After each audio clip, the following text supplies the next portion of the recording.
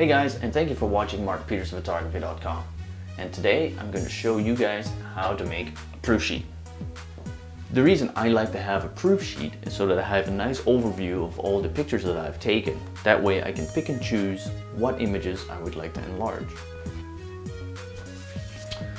Alright, so we're going to get started by cutting up a strip of negatives.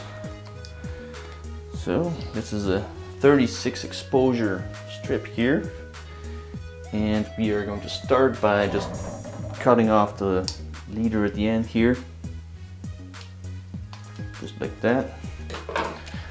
Throw that out and then we'll grab a negative holder.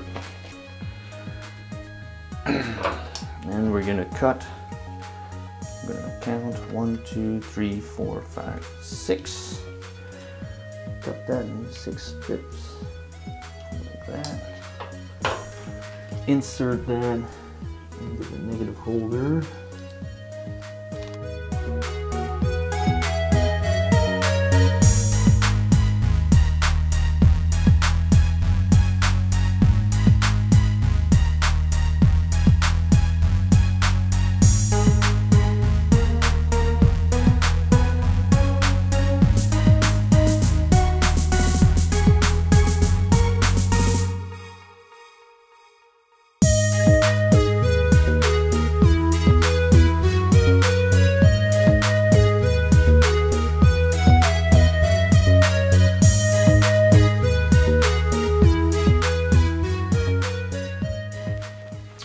So now that we have all of our negatives in a proof sheet, we can go ahead and get our chemicals mixed.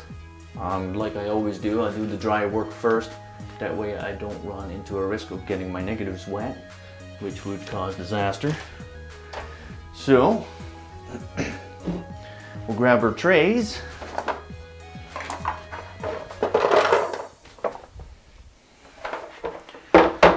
Trays here, that's our stop bath tray developer tray and our fixer.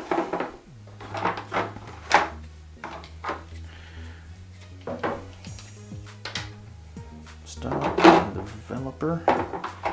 I have my tongs labeled as well so that I don't mix them up.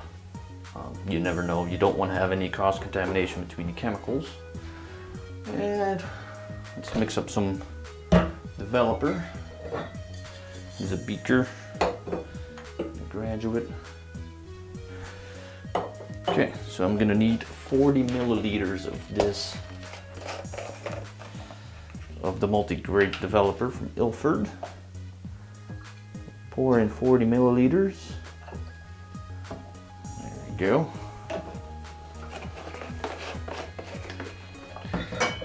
It's getting old, it's starting to discolor a little bit, but it still works. All right, and then we'll add, let's see, 560 milliliters of, uh, of water.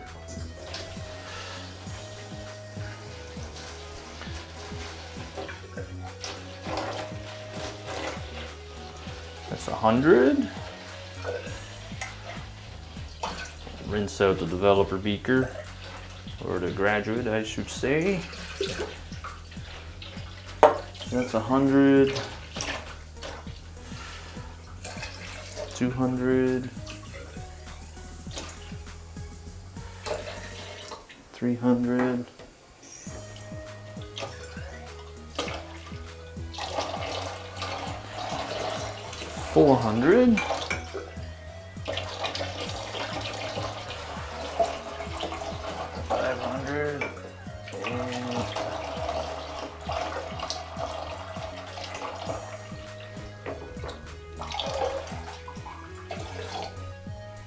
560, which then makes 600 milliliters of developer altogether.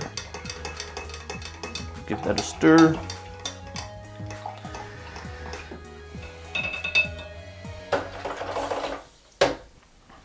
Okay, so the temperature of the developer should be about 20 degrees Celsius or 68 degrees Fahrenheit. So we'll pour that in our tray. There we go And then we already have some stop bath mixed up because I, I reuse that. It's an indicator stop bath, so it'll tell you when it's gone bad anyways. And then our fixer, which I also have already mixed up. The fixer and the stop bath are reusable for several times, uh, depending on how much you print per session. Um, the developer, however, once you've mixed it, it pretty much has a 24 hour lifespan. After that, it just goes brown and it just doesn't work anymore. Uh, usually when I make a contact print, like we're doing now, um, let that dry, then tomorrow the developer is usually still fine. Um, it takes, you know, it takes 24 to 48 hours before it's really bad. The second day you can notice that it's already starting to slow down your development. So your development times will be longer the second day. All right. So now that we've got this all mixed up, we are going to go through and uh, set up the enlarger. All right, so now let's go ahead and set up our enlarger. We're gonna start by looking at my little mark here. I've put a piece of tape on there with some settings on it that I usually use for contact prints. So we'll bring our larger head down to that height, lock it in place. Uh, I usually find an aperture of f16 is about fine. And then generally um, it's about six seconds, but the time can vary a little bit because of different variables. Um, next we'll want to make sure that we just want an average print. So I usually use just a number two filter, which is just a you know normal contrast. So for contrast filter, number two.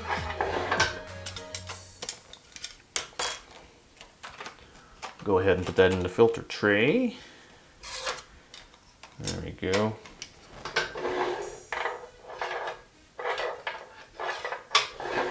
Slide that back in there. All right, so now that we have the enlarger all set up and ready to go, we can turn off the main lights and then we'll turn on the safe lights and you'll notice that the video will go black and white because of the low light conditions that we'll be working in. And we'll start by making a test strip and then when we're done that, we will make the large print. Okay, so let's turn off the lights.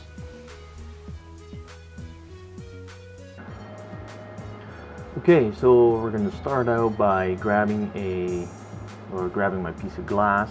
We use the glass to put on top of the negatives to keep the negatives flat.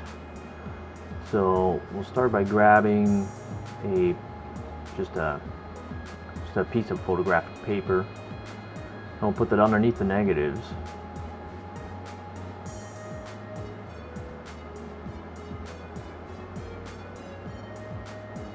And then we'll place the, the piece of glass on top of it to press the negatives flat against the test strip.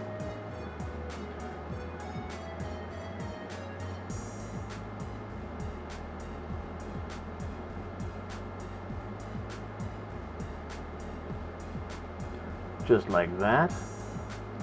And then we'll grab a piece of uh, scrap paper or cardboard to cover up the negatives.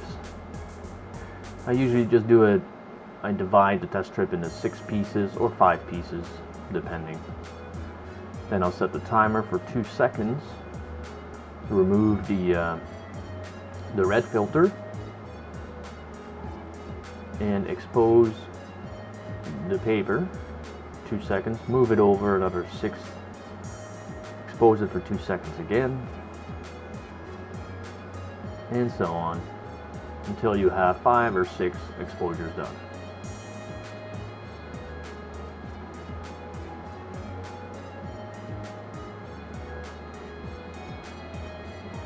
I usually find that my exposure for a contact sheet is about 6 to 12 seconds.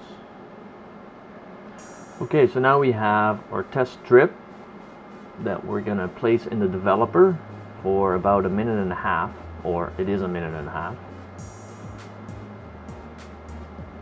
After about 30 seconds, you'll see an image start to appear.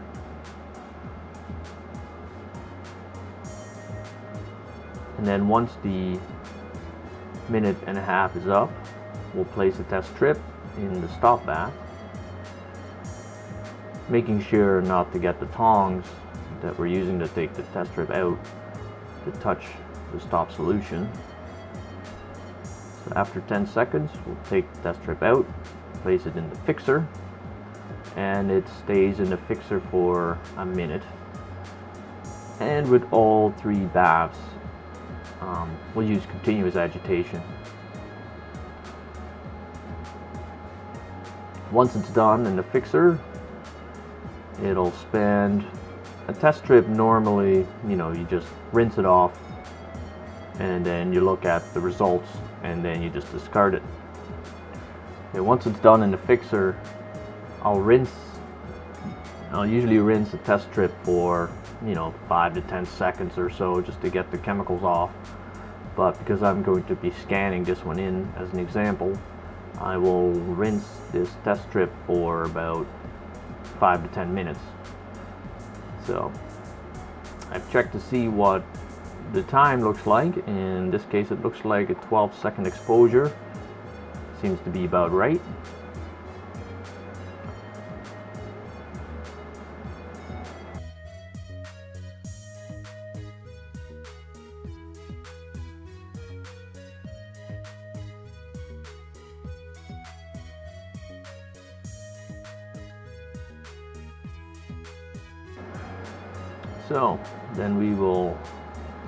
Grab a piece of, uh, a full sheet of photographic paper, 8 by 10.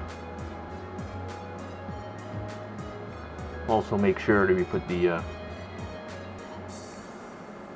the red filter back in front of the lens. I'm gonna hide this pack of paper a little bit because those uh, safe lights are up pretty bright so if I leave it out too long it will start to fog. It's just for video purposes. Normally, it's a lot darker in my room.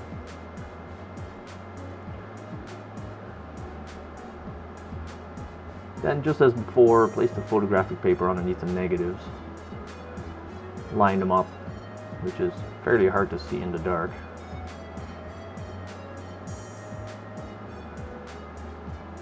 And then we'll place the piece of glass back on top of it just to hold the negatives down flat.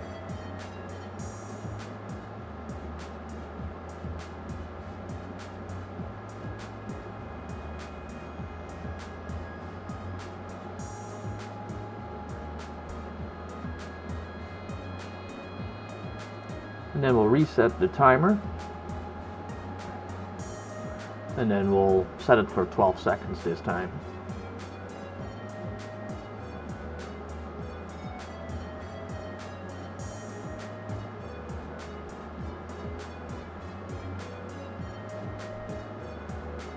take the safety filter back out and then we'll expose the whole sheet for 12 seconds.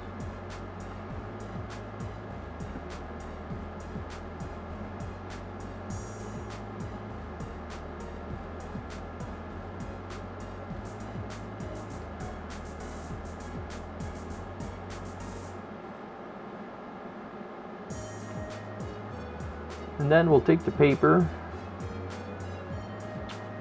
and just like the test strip we will stick it in the developer for one and a half minutes while continuously agitating. And after 30 seconds or 20 to 30 seconds we'll see the image start to appear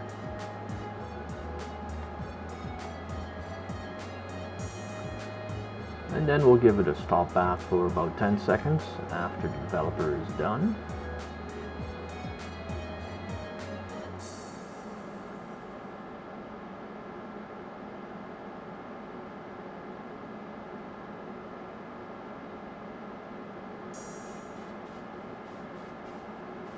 and then we'll put it in the fixer for a full minute. Once it's been in the fixer for a full minute, we'll rinse it for 5 to 10 minutes. And then we'll hang it on the line to dry. I usually let my prints dry overnight or for 24 hours. That way I know that they're good and dry.